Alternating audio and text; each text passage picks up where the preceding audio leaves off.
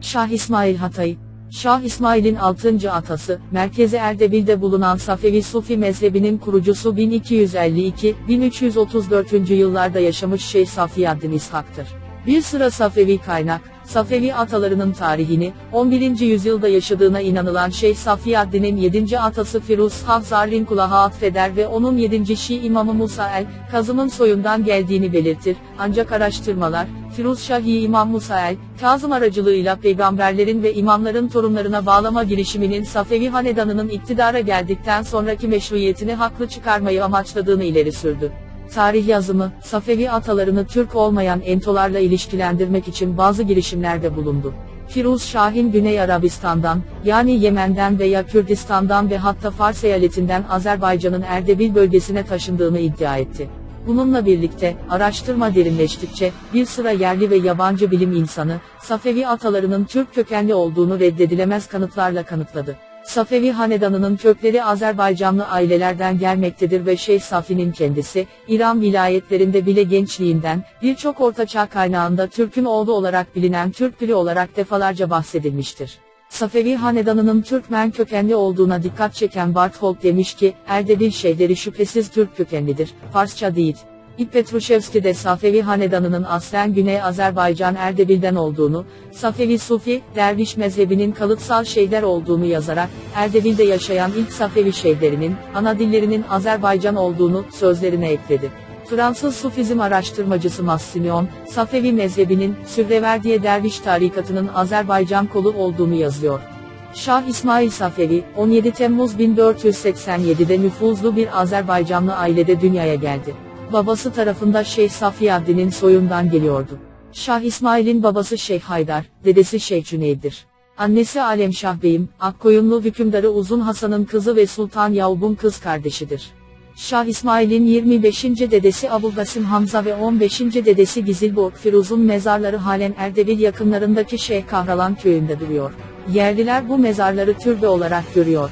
9 Temmuz 1488'de Tabasaran'da Şirvanşah'ın ordusuyla yapılan savaşta Kızılbaşlar mağlup edildi. Şeyh Haydar öldürüldü. Ölümünden sonra İsmail, annesi ve kardeşleri Sultan Ali ve İbrahim ile birlikte Sultan Yavuk tarafından önce Akdamar Kalesi'nde ve ardından 5 yıl kaldığı Şiraz yakınlarındaki Istakhır Kalesi'nde tutuklandı. Bir süre sonra Uzun Hasan'ın torunu Sultan Rustam, Safevileri onlardan yararlanmak için serbest bıraktı ve Sultan Ali'yi bağımsız hükümdar olarak Erdebil'e döndürdü. Şeyh Haydar'ın en büyük oğlu Sultan Ali babasının işine devam etti ve ölmeden önce kardeşi İsmail'i şehlik mevkiine atandı. Sultan Ali ve Sultan Rüstem'in birleşik kuvvetleri 1493'te Baysunbur'u yenilgiye uğrattı. Geri çekilmek isteyen Sultan Baysumbur, savaşta öldürüldü.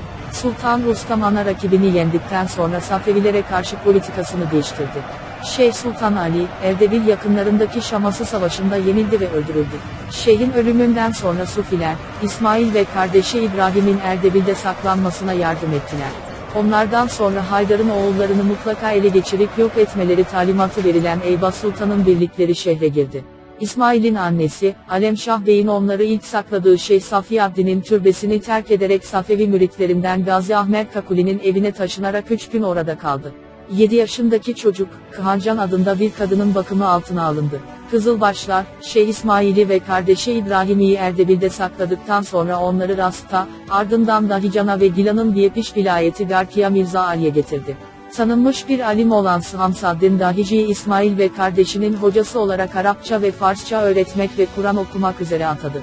Şeyh Haydar'ın 13 yaşındaki oğlu Ağustos 1499'da Lahican'dan Erdebil'e gittiğinde kendisine yakın 7 kişi eşlik etti. Hüseyin Bey Lale Şamlı, Abdülali Bey Dada, Kıhadim Bey Kubulafa, Rustam Bey Beramanlı, Bayram Bey Beramanlı, İlyas Bey Kuvunuslu ve Garapili Bey Gacar. Deylam'dan geçerler ve Tarom'a gelirler. Duraklarda İsmail'in grubuna, Rum ve Sam aşiretlerinden destekçiler katıldı. 1500 kişilik Kızılbaş kuvvetleri Tarom'da teftiş edildi. Oradan, Kızılbaşlar Erdebil'in güneybatısındaki Kıvalkal'a ilerlediler ve kişi geçirmek için Hazar Denizi yakınlarındaki Arçivan'a geldi. 1500 baharında Şeyh İsmail, Arşivan'dan Araz Nehri'nin kuzeyindeki dağlık bölgeye, Gölçe Gölü'nün güney kıyılarına taşındı. Burada Araslı ve Zulgadar kabileleri Kızılbaş'a katıldı. İsmail Çukursadi'yi geçtikten sonra Dokekeye Uzulam denen yere geldi. Burada, Küçük Asya'da bir grup Kızılbaş'a liderlik eden Çingene İlyas da ona katıldı. İsmail daha sonra müfrezesiyle Küçük Asya'ya taşındı ve Ustaclı kabilesinin yaşadığı Mingol yaylasına geldi. Tarcan topraklarındaki Kazman ve Sarıgaya yaylası üzerinden Erzincan'a ulaştı. Şeyh İsmail Azerbaycan'dan Küçük Asya'ya geçmeden önce Şamlı, Rum, Üstaclı, Zülkadar, Kaçar, Tekeli, Afşar, Varsa kabilelerinden ve Karabağ Sufileri dahil 7000 gaziler toplandı. Erzincan'da Kızılbaş Büyükleri toplantısında askeri harekatın yönü tartışıldı. Bazıları, önümüzdeki kişi Erzincan'da geçirip ek kuvvetlerin gelmesini bekleyecek, baharda Azerbaycan ve Alban'a karşı yürüyüş yapacak, diğerleri gelecek kış Gürcistan'da cihat yapacak, bazıları ise cihat yapacak yeterli güçleri olmadığını savundu. Şukursa'da gitmeyi ve kişi orada geçirmeyi teklif etti. Ancak bu önerilerin hiçbiri kabul edilmedi. Şirvanşah Faruk Yaşar'a yöneltilmesine karar verildi. İsmail emirlerinin Gürcistan'a ve bugünkü Ermenistan'a birkaç seferlerinden sonra, 1500. yılda Faruk Yaşar'a 7000 Kızılbaş ile saldırdı.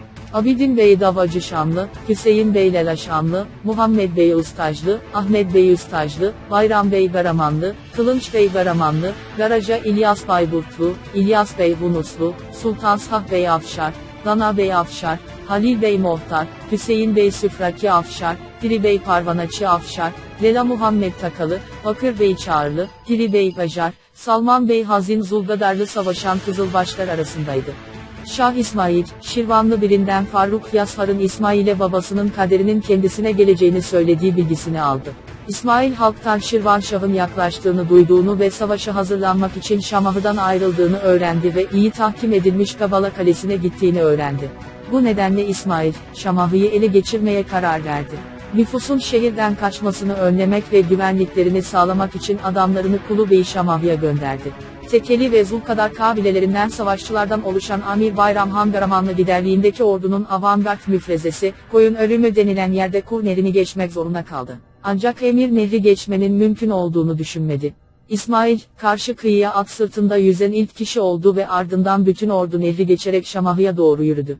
Bu sırada İsmail ile karşılaşan Seke hükümdarının birlikleri bozguna uğradı. Şirvanşah Şamahı'dan ayrıldı ve iyi tahkim edilmiş Kabala Kalesi'ne gitti. Ancak İsmail Şamahı'ya girdiğinde tüm nüfusun şehri terk edip dağlarda saklandığını öğrendi. Birkaç gün Şamahı'da kaldıktan sonra İsmail, Şirvanşah'ın askerleriyle Bugurt Kalesi'nin yakınındaki ormanda kamp kurduğunu öğrendi. İsmail, düşmanın peşinden gitmeye karar verdi, ancak onu orada bulamadı. Şamahı'nın ele geçirildiğini öğrenen Faruk Yashar, Gülistan Kalesi'ne çekilmeye karar verdi. Ancak o kaleye ulaşamadı ve İsmail ve ordusu onu Cabani denen yerde karşıladı. İsmail 7 bin süvari birliğinin başında Faruk Yashar'ın 20 bin süvari ve 6 bin piyadeden oluşan birliklerini mağlup etti ve Şirvanşah bizzat kaçtı. Şirvanşah birliklerinin hayatta kalan kısımları Gülistan Kalesi'ne çekildi. Kızılbaş pek çok malı ve sığırı yağmaladı. Şirvanşah at sırtında Bubrut Kalesi'ne koşmaya başladı. Ancak Kızılbaş ordusu, Gülistan Kalesi'nin yakınında ona saldırdı. Şahgeti Ağa adlı bir Kızılbaş Şirvanşah'ı at sırtından sürükledi ve kafasını keserek İsmail'e getirdi. Şirvan'ın tutsakları Faruk Yashar'ın cesedini tanıdı ve gömdü. Faruk Yashar yenilip öldürüldükten ve Şamah'ı yakalandıktan sonra İsmail, babası ve büyük babasının intikamını almak için aldığı tüm tutsakları öldürdü. Kızılbaşlar zaferlerini doğrulamak için öldürülenlerin başlarından bir kale inşa ettiler. Savaş ganimetleri Kızılbaş ordusu tarafından ele geçirildi ve dağıtıldı. İsmail 3 gün savaş alanında kaldı, ardından Şamahı'ya döndü ve şehir yetkilileri tarafından saygıyla karşılandı. Faruk Yasar'ın oğullarından biri, savaştan kurtulan Şeyh İbrahim, Hazar kıyısındaki Şehrinol kasabasına geldi ve babasının ordusundan sağ kalanları toplamaya başladı. Ancak Hatim Bey, Kulafa'nın yürüyüşünü duyunca gemilere binip Gilani'ye doğru yola çıktı. İsmail, şeyin ardından birkaç gün sonra Şahrinov'dan ayrıldı ve 1500-1501 kişini geçirmek için Mugan'daki Mahmudaba'ya doğru yola çıktı.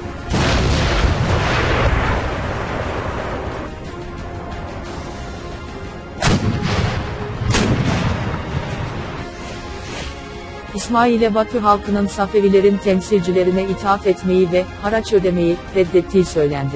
Bu durumda İsmail, Bakü'nü ele geçirmeleri için Muhammed Bey Ustacli ve İlyas Bey Hunuslu'yu gönderdi. Komutanlarının kaleyi ele geçirme girişimlerinin başarısızlığını gören İsmail, 1501 ilkbaharının başlarında ana kuvvetleriyle Mahmudabad'dan Bakü'ye hareket etti. Emirlerin eşliğinde şehre yaklaşan İsmail, surları, kuleleri, kapıları ve hendeyi tek tek inceledi. Kaleye yapılan saldırının zorluklarla dolu olacağını ve kayıplara yol açabileceğini anlayan Safeviler, Bakü halkıyla diyaloğa girerek onları şehri teslim etmeye ikna etmeye karar verdi. Kalenin savunmasına Faruk Yashar'ın oğlu Gazi Bey'in eşi önderlik ediyordu. İsmail, elçisini Gazi Bey ve karısına gönderdi. Büyükelçinin teslim olma talebine karşılık, Gazi Bey'in eşi onun infazını emretti. Bu durumda Bakü valisi Abulfat Bey, İsmail'in öfkesiyle tehdit ederek onu bu adımı atmaktan caydırmaya çalıştı. Ancak Gazi Bey'in eşi de Dargan'ın infazını emretti. İsmail daha sonra bazı savaşçılara kendileri için höyükler yapmalarını ve kuşatma altındakilere ateş açmalarını emretti.